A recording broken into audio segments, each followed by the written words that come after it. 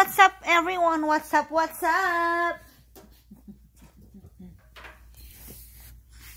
Saving tips tayo mga kaibigan. And ayun lahat na pamili namin kanina ng kapatid ko. May mga ganyan, pang snack. Lahat po ang presyo niyan. Saka ito ay 937 dapat. Nakita nyo ang binayaran ko lang. 245 and 52 cents. Ang savings ko ay 687.45. Why? Because they are on sales and then on top of that, because they are closing out, everything are extra 50% off. My total bill is 937 but I end up paying 245.52 only. And that's my saving, guys. Diyan, tararan, 687.45. O, diba? Galing.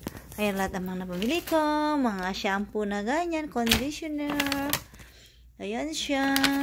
And some mayonnaise, some canned good, and some immune for immune system, vitamin C, some anchovies, padala sa Pinas, and some triple antibiotic, and mga sangkatutak na, na tea, and some snackies, pag uwi namin, padala na advance para wala na kami bubuhatin mamaya sa airport.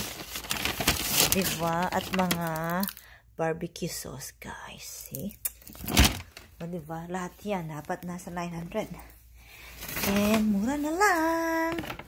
And then, mayroon pa akong mga ganitets. Oh, smoothie siya.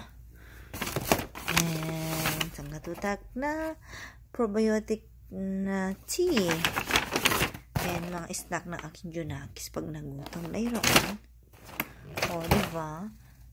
Ano pang ginagawa nyo? Arat na sa grocery outlet. Thank you everyone. If you're not my subscriber yet, subscribe and comment down below po. Thank you.